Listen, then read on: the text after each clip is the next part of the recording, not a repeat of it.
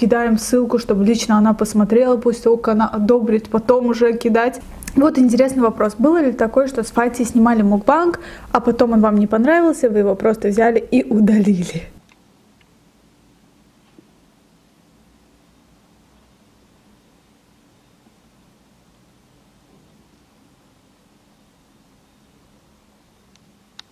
Всем привет, мои хорошие, с вами Геймери, и сегодня я снимаю для вас очередное новое видео. Мукбанки будут каждый день, а вообще со следующего месяца я уже наснимала кое-что, я обещала вам влог, завтра будет у нас вложек, и много-много еще интересного. Я думаю, что просто снимать мукбанки это немножко скучновато, и вы как-то проявляете тоже инициатив, чтобы я показывала свою жизнь, что я делаю и так далее. В общем, посмотрим, как там карты лягут, я не буду ничего обещать, а сегодня у нас мукбанг с азербайджанскими фруктами, так можно сказать. Здесь, значит, у нас гранат уже почищенный, красота просто. Здесь айва, здесь вареная айва, яблоки, в общем, осенние фрукты, так можно сказать, хурма. Все это купила я сама. Айву часть я сварила. М-м, как вкусно. Здесь есть не вареная, но вареная намного вкуснее.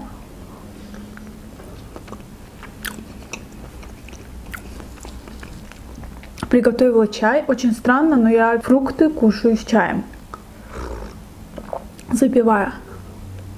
Обычно за фруктами у нас всегда ходит мама. Но в этот раз я сама решила выбрать для своего мукбанка. И почему-то я никогда не хожу на рынок. Я лучше пойду в супермаркет и переплачу. Кстати, о ценах. Фейхуа стоила 1 манат.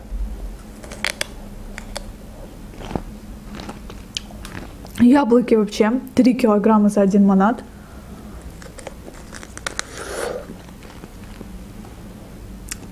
Это получается 1 килограмм, всего 30 копеек, 35 копеек.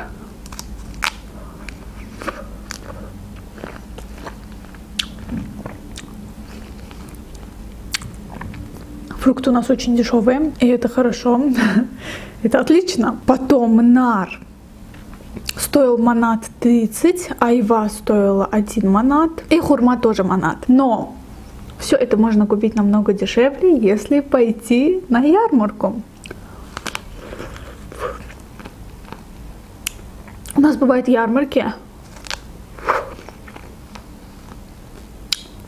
Каждую субботу и воскресенье там дачники все привозят свой товар и абсолютно бесплатно стоят и продают свои товары. Но это только суббота и воскресенье. Обычно люди ходят на такие ярмарки в субботу и воскресенье и закупаются на всю неделю.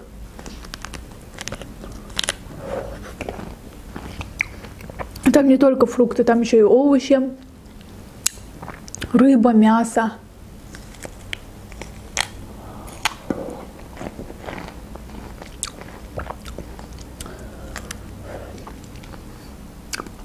А дешево получается, знаете, за счет чего? За счет того, что они как бы не платят за аренду места. Это чисто такая, знаете, государственная программа. Очень выгодно как продавцам, так и покупателям. Но мне как-то неудобно идти туда, я не знаю почему. Вот.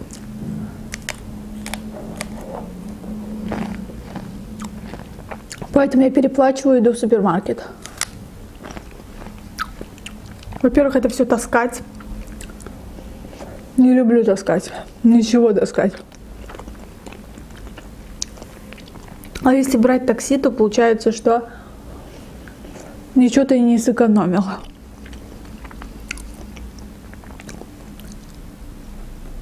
Кстати, обязательно напишите в вашем городе, сколько стоят эти фрукты. На мой взгляд, все-таки у нас очень дешево фрукты. Может, я ошибаюсь, может, у вас дешевле. Когда будет еще видео с мамой? Вот я не знаю, вы хотите или нет, но мне кажется, еще одно видео можно снять. Такого не будет, что прям каждое видео с мамой. Вот. Но иногда, мне кажется, можно. Фейхуа. Как она пахнет. Кто-то ест без кожуры, но многие не знают, что витамины именно вот в этой кожуре.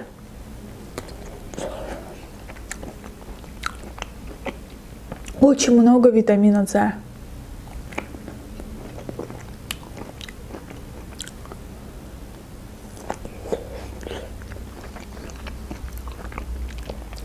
Многие вот так вот едят, берут просто, снимают кожуру и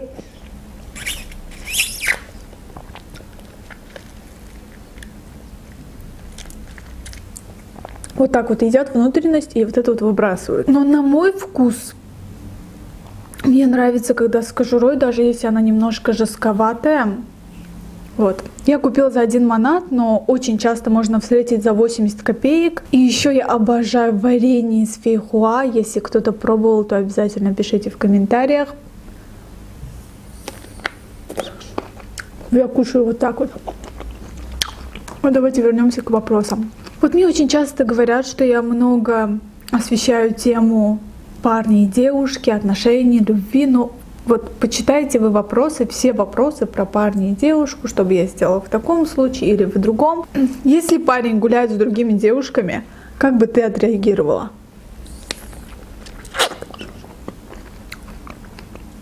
Я вам много раз говорила, что я против измен, и у меня нету такого понятия, что это просто мимолетно, ой, он напился и так далее. Я не понимаю, как люди спокойно реагируют на такие вещи. Для меня это неприемлемо.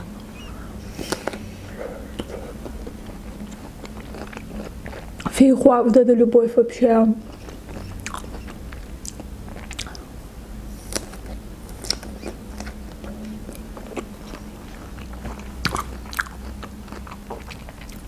Дальше здесь обычное яблоко. За один монат можно купить 3 килограмма.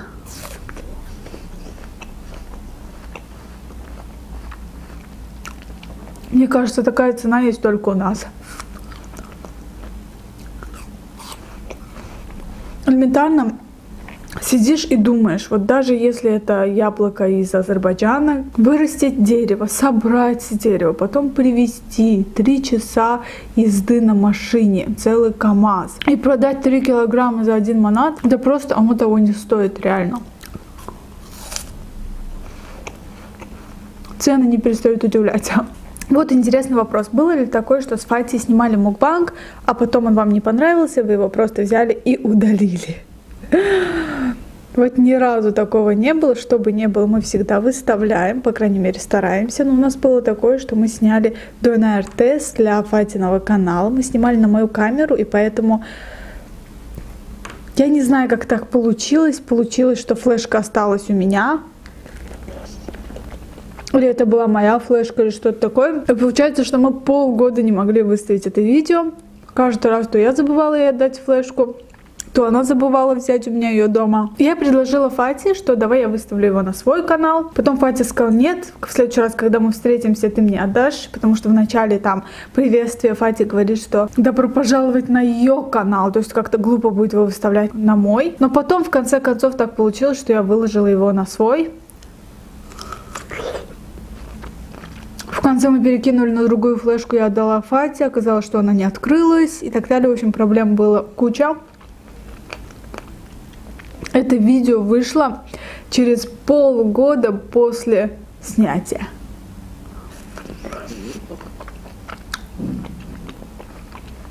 Я оставлю в инфобоксе ссылочку на это видео.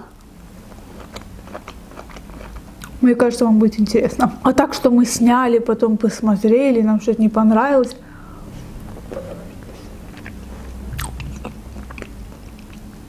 Такое не бывает. Просто бывают такие моменты, что, например, монтирует видео Фати на Фати, а с мое, например, монтирую я. И у нас нету такого, что мы выкладываем в закрытый доступ, кидаем ссылку, чтобы лично она посмотрела, пусть только она одобрит, потом уже кидать. Мы не согласуем такие вещи, потому что у нас полное взаимопонимание.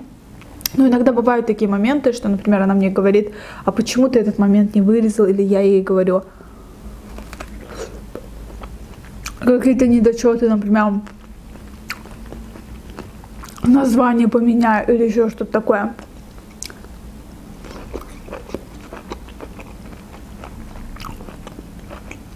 Но в общем и целом, чтобы прям так ругаться из-за видео, у нас такого не было. Я могу уступить, она тоже.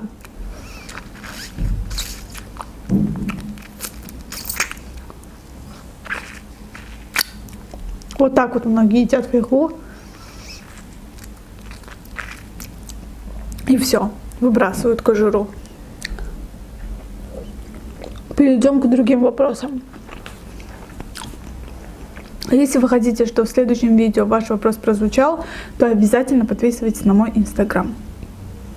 Как ты отмечаешь Новый год и как планируешь отмечать в этом году? Последние, наверное, где-то 4 года я отмечаю Новый год очень интересно. Просто дома сидим, чокнулись и пошли спать. Но в этом году я хочу отметить действительно как-то интересно. Мы даже договорились с моей подругой Шелли,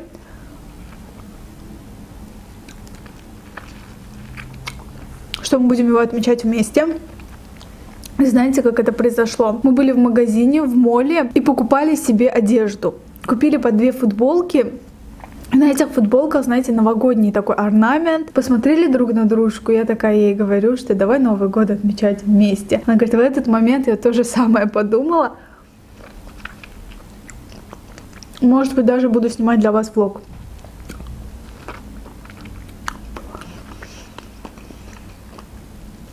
Ну, как говорится, мы предполагаем, Бог располагает. Поэтому не факт,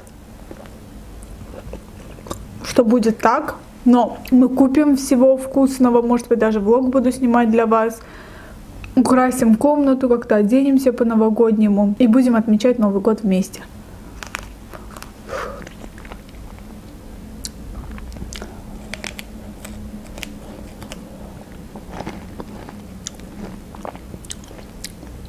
Сначала хотела гранат вообще почистить, потом подумала, да ладно.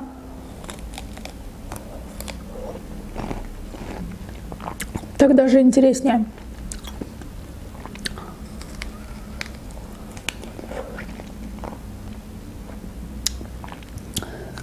Какой бы совет дала подрастающему поколению? Вот когда мне задают такие вопросы, у меня такое ощущение, что я какая-то пенсионерка. Вообще, если в плане карьеры и так далее, я бы советовала учить как можно больше языков. Желательно те языки, которые никто не знает.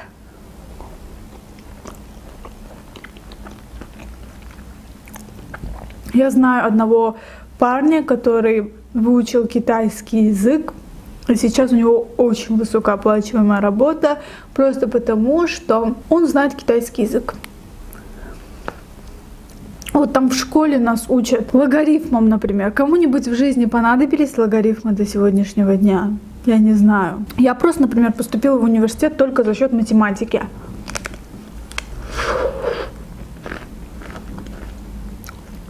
Некоторым предметам я набрала ноль. Это, например, по истории Азербайджана, представляете, ноль. А по математике я написала 22 правильных из 25.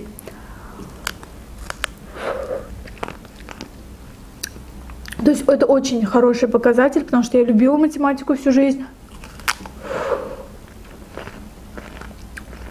Мне она всегда была интересна.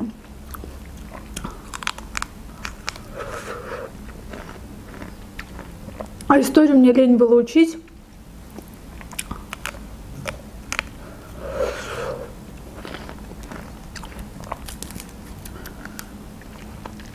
Возвращаясь к вопросу, что бы я посоветовала? Все свои силы тратьте на учебу. Поверьте мне, пройдет время, вы потом пожалеете. Вот в мое время мне всегда родители говорили, учись, а то потом ты пожалеешь.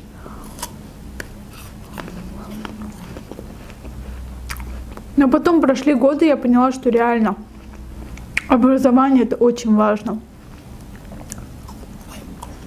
Я уже наелась. На удивление. Да. Я очень надеюсь, что это видео вам понравилось. Если это было так, то обязательно ставьте лайки, подписывайтесь на мой канал. Может для вас это мелочь, для меня безумно приятно. Мои зрители настолько внимательные. Иногда бывает, что какое-то старое видео я выкладываю через где-то неделю или через две недели, и сразу все пишут, кто заметил, что у нее другой маникюр, значит видео старое. Всем желаю приятного аппетита. Я вас всех очень сильно люблю. Всем пока.